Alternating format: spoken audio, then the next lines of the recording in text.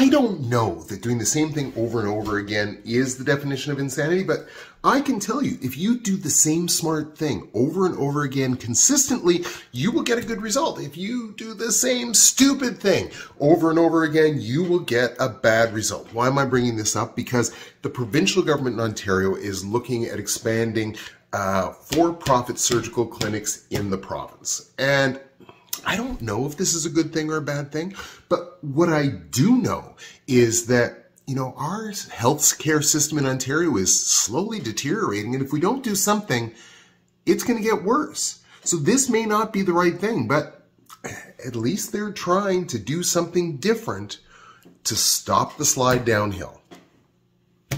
1% better.